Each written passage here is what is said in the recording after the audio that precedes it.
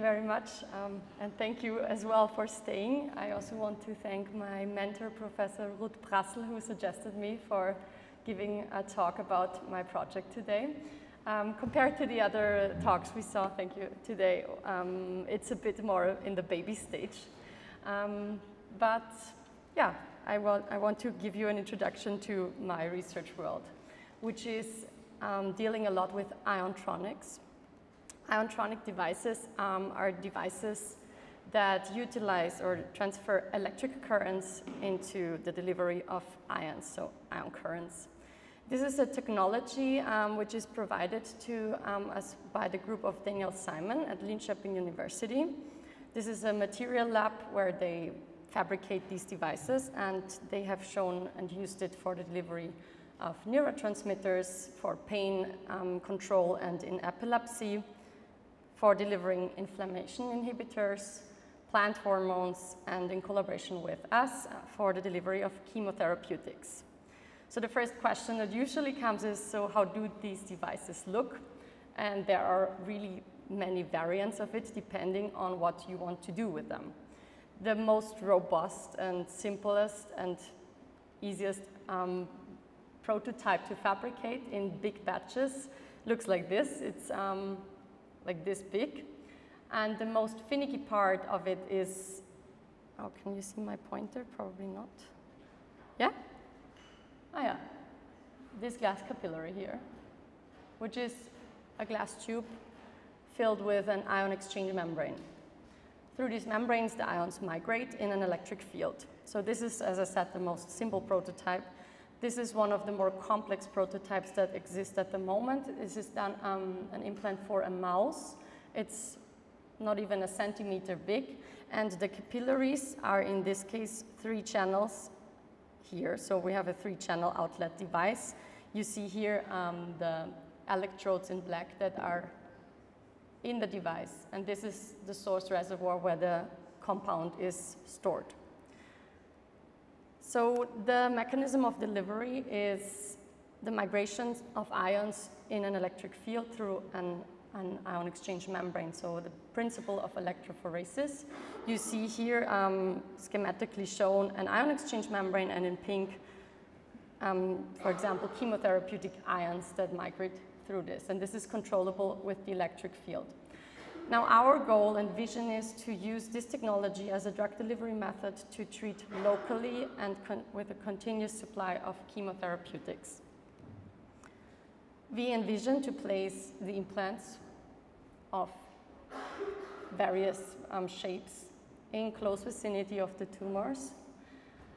And here um, we exemplify again the mechanism of delivery. So you again see the membrane and the ions migrating in the electric field towards the target tumor. This is controllable with the, uh, with the current that is applied. And what we generate by doing this is a local high concentration of a chemotherapeutic. So the, at the interface with the tumor, we, we can create really high concentrations of the drugs, but in the system, the concentration remains low. And this is, again, controllable with electric current. So the goal is to kill tumors with this, but in a really controlled and precise way. One target tumors, tumor is um, glioblastoma. Um, this is a very lethal brain tumor and the most frequent brain tumor in adults and has, is basically incurable at the moment.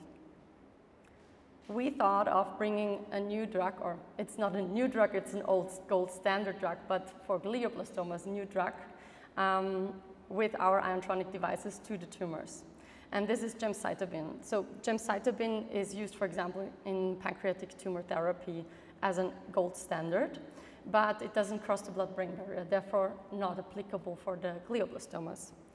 We first checked the biological properties, if this is crazy basically to bring gemcitabine in high concentrations into the brain by checking the IC50 in neuron cultures and in glioblastoma cultures. And you see here that neurons basically are well, they are responsive to this drug, but at very high concentrations and at concentrations at which glioblastoma cells, this is U251, um, die already. So we have a pretty big therapeutic window, which is owed to the high proliferation rate of the glioblastoma cells. They double their size within 50 days.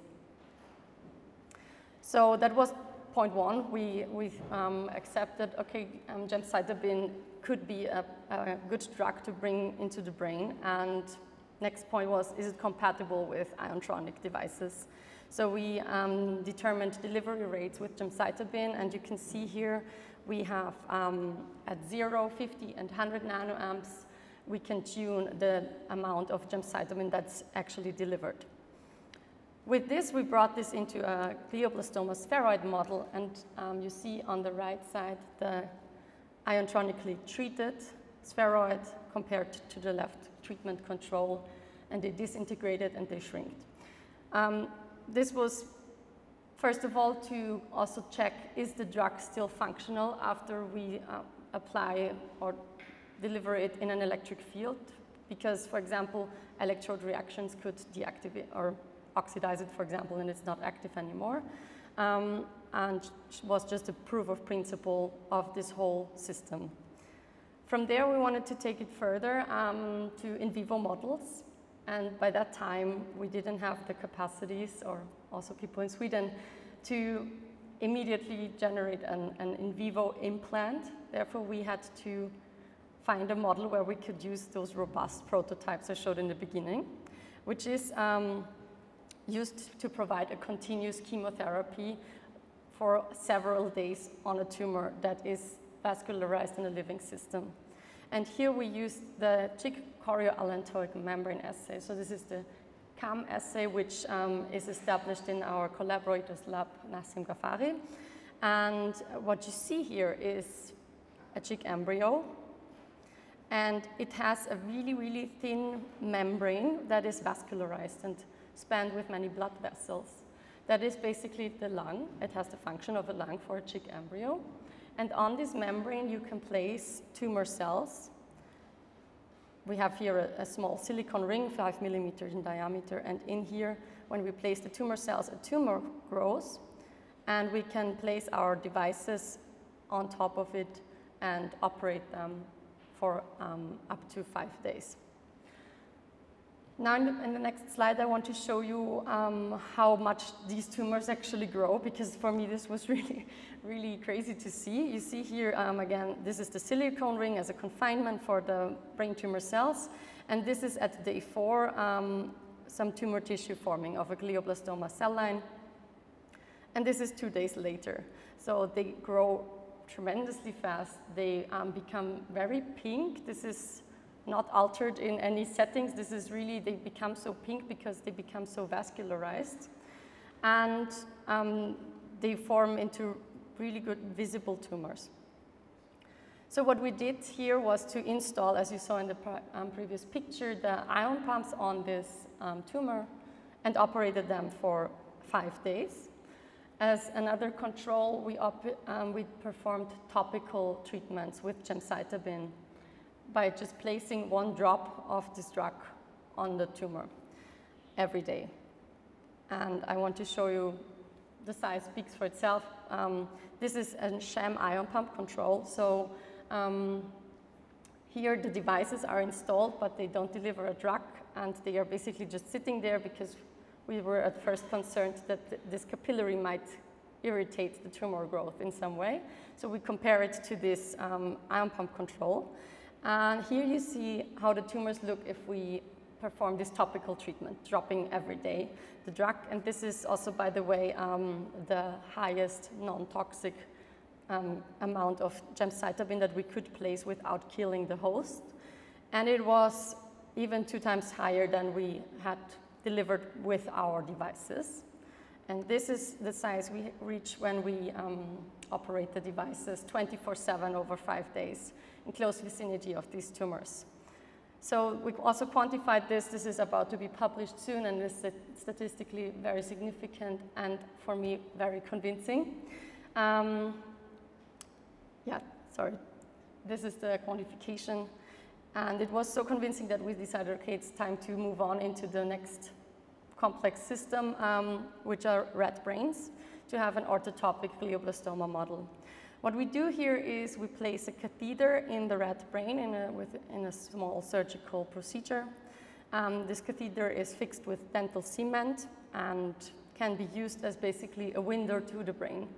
We use it for both inserting tumor cells, so the tumor grows around this um, tip of the catheter, like here, sorry, yeah. and then we also install the, our devices on top by screwing them onto these catheters. So far, we haven't um, um, delivered drug with these devices yet because we're still establishing and setting up the experiment. You see here um, the devices, how they look now. Um, so we have still the capillary prototype. Um, those are pins to wire them, and we will have the animals in special cages where they can be tethered to their heads um, while they are awake and run around and eat and drink and sleep. So for now, we operated the devices um, functionally for a couple of hours um, in the awake animals. And we also did an overnight test, which um, resulted in the rats just getting rid of everything that was attached to them. So we um, currently improving the experimental setup. And as soon as this is done, we will implant tumor cells and again apply our local continuous chemotherapeutic regime to those rats.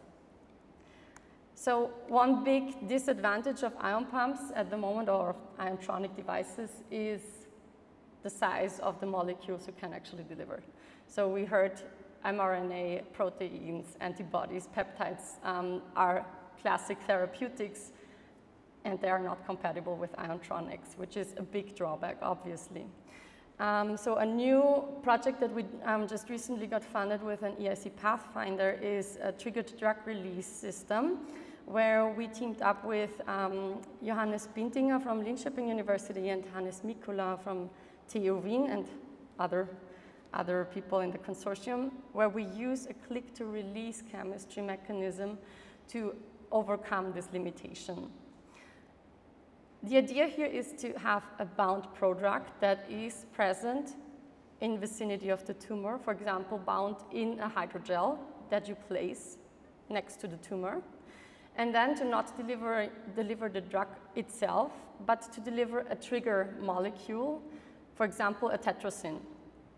So those tetrazines are again, again small molecules, they can be pumped, and um, the idea is to have that the tetrazine reacts with the TCO, and by doing this, the drug that is bound is released.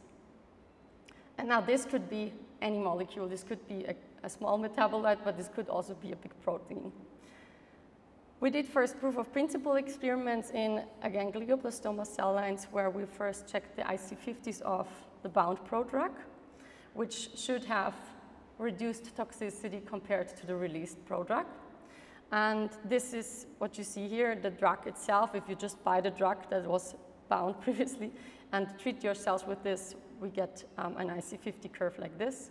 And here um, is the IC50 for the system when everything is combined in the cell well. So we add to the bound prodrug a tetrazine amount that will release 100% of the drug based on this, we said, okay, this makes sense. Let's try it um, with um, iontronics. First of all, we again had to check, um, can we deliver those tetrazines? Is it compatible? Does it work? You see here um, the delivery rates for tetras uh, certain tetrazine that Hannes Mikula's lab was synthesizing. And we have also really nice stable voltage um, characteristics, which is always a good sign if your voltage um, is stable and not skyrocketing basically.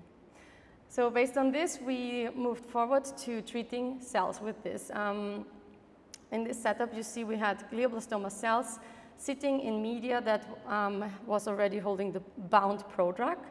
And we put the ion pump into the media, so it was not sitting on the cells, but immersed into the media, and operated them at 10 nanoamps for one hour and checked the cell viability, which dropped basically to zero. So we saw again that the tetrazine is not chemically altered in this setup and it still does its job.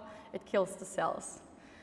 However, passive diffusion out of the device is an issue in this case. Um, so even if we didn't address the system with current, so it was just sitting there for one hour, um, enough of the tetrazine diffused out of the, of the capillary and caused again cell killing, but we wanted to gain back our controllability over the system. Therefore, we applied a reverse current.